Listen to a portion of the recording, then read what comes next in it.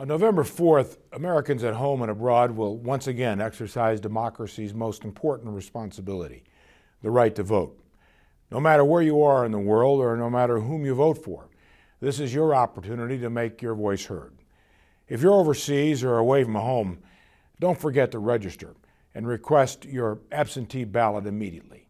If you need help, talk to your unit's voting assistance officer or go online to